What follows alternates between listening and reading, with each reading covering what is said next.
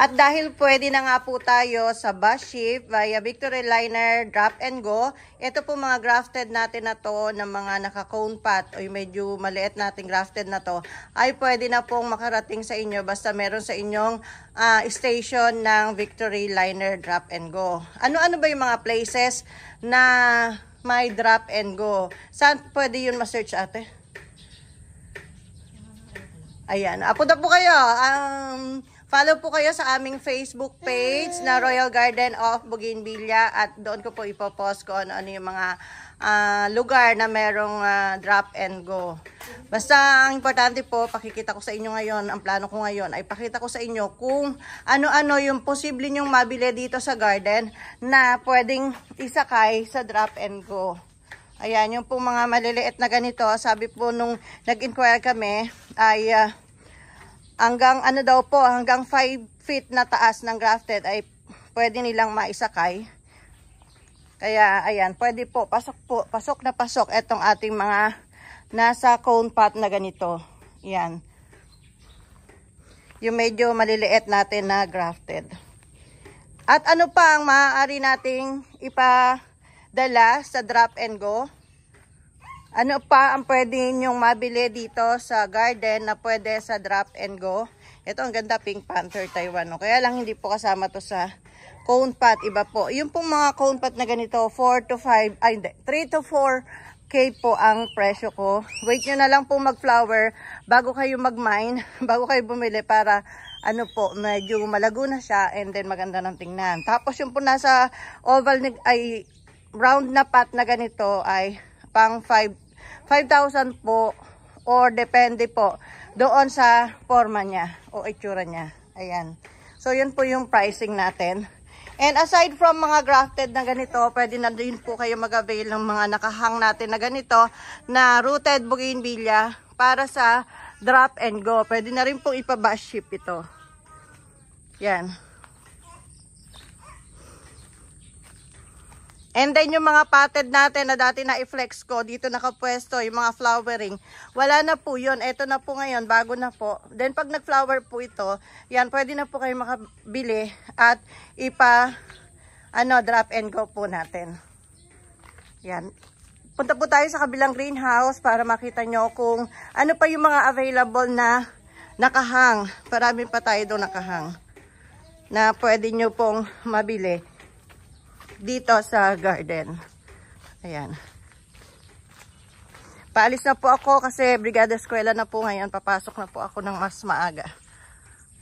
Maaga pa daw nun. Tanghali na. Ayan, kakapermata. And then ito. Ganda. And then ito. Hindi ko alam kung anong variety to. And then ito po. Mga ano, Sobrang taas naman ang ginawang sabitan kasi. Hawaii purple. And then ito po mga mini formosa. Yan, mini formosa. And then ito Indian. Ano nga ito? Ano nga ito? Nalimutan ko ba? Nawala sa isip ko. Arjuna India. Ayan, golden summer purple. Ayan, malalago na po siya. 300 lang po yung benta namin nito. Pili na lang po kayo ng malaguna para sulit. Moonlight orange. Ayan pa oh. Hawaii purple. Ito pa golden summer purple. Yan, pink sayap. And ito po butterfly na po siya pink. Ito po yung mga rooted natin. Pwedeng pwede po sa bus ship yung mga rooted natin na to. Ayan, super dami po nila. Ito pa po, yung nasa timba na to na rayfish and butterfly yellow. Yan, 500 po yung benta ko nito kasi maganda po ito. Tsaka dalawang klase po. Tsaka super laguna po. Ito lemon yellow ginda. Nagsisimula pa lang po, buds pa lang. Sisimula pa lang mag-flower. Tapos to Nescafe. Ayan. Ayan, dami ng bulaklak. Ito pa si Lemon, may bulaklak na. Wow, ganda. Ganda sa mata ni Lemon kasi. Ito pa, yellow marble. Yan, pwede pong ipabash ship ito. Depende po sa area ninyo kung meron pong ah, Victory Liner Drop and Go. Pwede nyo po yun i-search po sa Google kung yung mga station po ng Drop and Go. Kung hindi nyo po makita sa page namin. Pero follow po kayo sa aming Facebook page na Royal Garden of Bougainvillea. Meron po tayong admin doon. Doon po talaga kami nagla-live selling. Doon kami nagpapa-order ng mga ganito, ng mga tinda natin. Then, basta gusto nyo kaming makonect online, Facebook page po na Royal Garden of Bougainvillea. And then, meron din po tayong Viber. Meron din po tayong contact number. Nasa description box po ng video na to. In every video po natin may description box. Nandun po yung mga details ng ating contact number. And then meron din po tayong Viber na yung anak ko po yung makakausap nyo. Ayan. Binukod na po natin kahapon yung mga pan-live selling. Inalis na natin dito.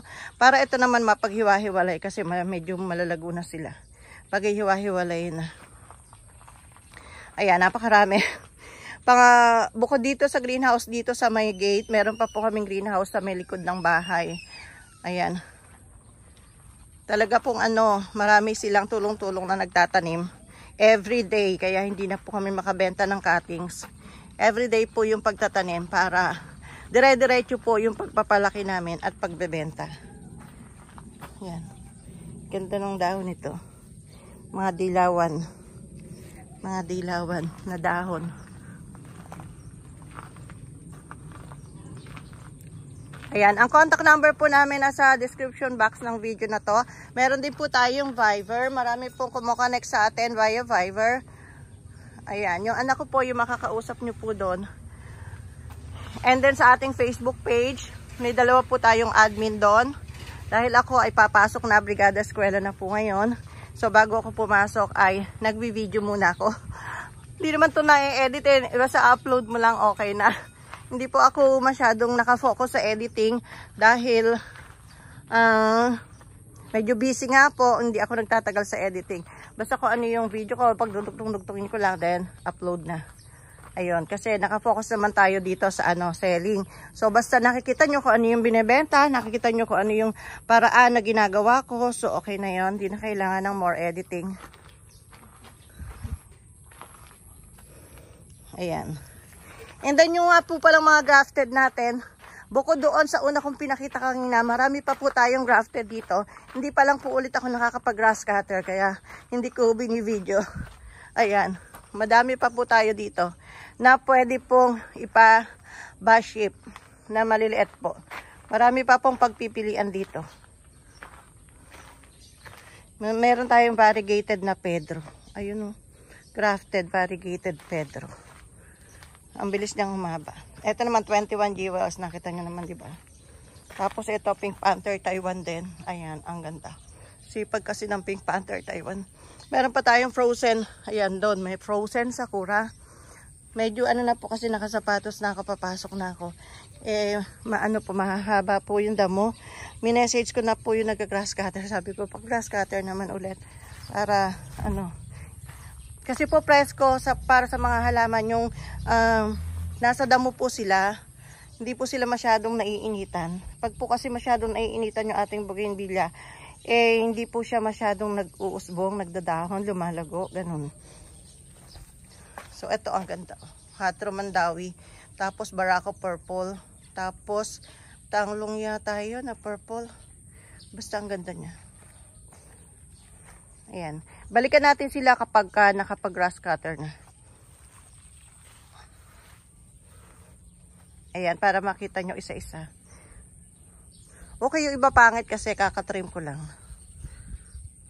Ito ang ganda ang lago, oh. Yan, lago. Yan. So, that's all for today's vlog. Pili lang po kayo sa mga pinakita ko dito sa ating uh, video, sa ating vlogs. Uh, kung gusto nyo pong mag-avail ng aming Victory Liner Drop and Go. Yan. Thank you. Thank you. Thanks for watching. Papasok na po ako. Brigada Eskwela na po. mamimiss ko kayo. Mamimiss ko ang garden natin. Tuwing hapon, excited akong umuwi. Sabi mo ako, teacher ko, bakit bakit tuwing hapon ay eh, apura-apura ka umuwi? Ayan. Oh, super, di ba? Ang gaganda nila. Ewan ko sa inyo kung di kayo magandahan. Kasi ako everyday kong nakikita pero gandang-ganda pa rin ako. Yan. Thank you. Bye.